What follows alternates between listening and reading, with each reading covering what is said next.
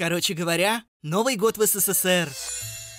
Это было утро 31 декабря 1985 года. Я проснулся, улыбнулся, ведь сразу вспомнил, что сегодня мой любимый праздник. Ну, после дня рождения Горбачева. Тут же отправился на кухню завтракать. Намазал на кусочек белого хлеба масло и посыпал сверху сахаром. Что может быть вкуснее? Пока уминал бутерброд, налил себе чайка и вышел на балкон. Вдохнул свежий столичный воздух. Красота-то какая, лепота. Простоял так 20 минут, вернулся обратно. Сел на стул и стал читать комсомольскую правду, советскую правду, правдивую правду. Вычитал, что в Горьком на улице раздают бесплатные сладости. В Ленинграде прошел крупный град, а в Свердловске на городской площади выдают сверла. Как же разнообразен наш Советский Союз. Но что-то я отвлекся. На часах уже 15.00. Пора готовиться к новому 1986 году. Поэтому включил телевизор на фоне. Там шел фильм «Бриллиантовая рука». Поговаривают, что скоро снимут продолжение «Нефритовая нога». Я принялся нарезать докторскую колбасу, соленые огурчики, поставил вариться пару яичек. Да, вы угадали, я готовлю селедку под шубой. Тем временем мне кто-то позвонил. Я взял трубку. Это был мой дорогой друг и товарищ Роман. Он спросил, приготовил ли я еловый веник. А зачем он? Он спросил, как зачем? Ёлки-палки, вот же дырявая моя башка. Ведь каждый год 31 декабря мы с Романом ходим в баню. Я сказал ему, что веника у меня нет, и я совсем позабыл о нашей традиции. Роман ответил, что в таком случае не придет ко мне сегодня, обиделся и бросил трубку. Как же я мог забыть? Ведь мы с ним всю жизнь были не разлей вода. Еще целых полчаса меня грызла совесть. Вспомнил про свои яички, переварил, поставил другие и закинул майонез в миску. Но ссора с Романом никак не давала мне покоя. Может перезвонить ему и извиниться? Я подошел к телефону, но тут мне в дверь кто-то постучал. Может это Роман? Я обрадовался и побежал открывать. Но это был мой сосед. Он попросил у меня немного соли. Я грустный поплелся на кухню и взял солонку. Отдал соседу и вернулся обратно. На часах уже 18.00. Первый салатик готов. Теперь надо сделать оливье. Я принялся разделывать селедку и тереть на терке свеклу. Вскоре и этот салат был готов.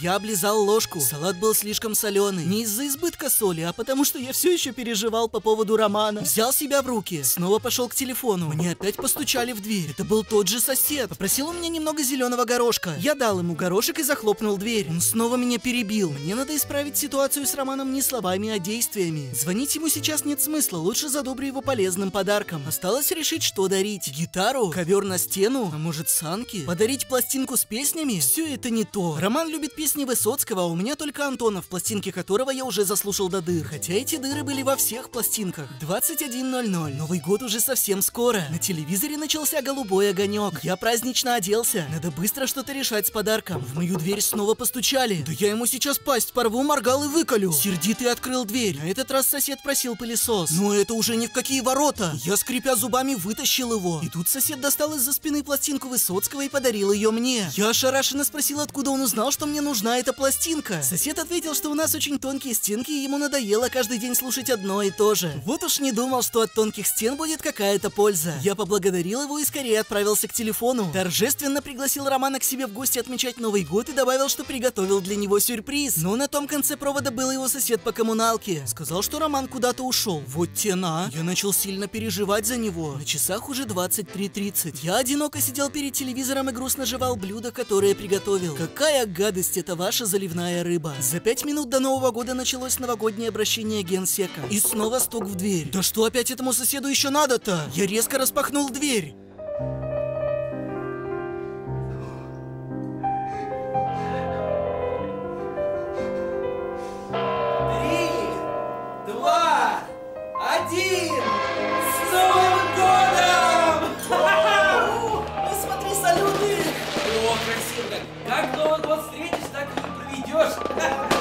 Короче говоря, Новый год в СССР.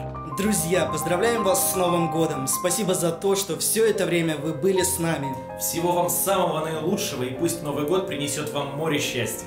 Спасибо за просмотр и увидимся в следующем году.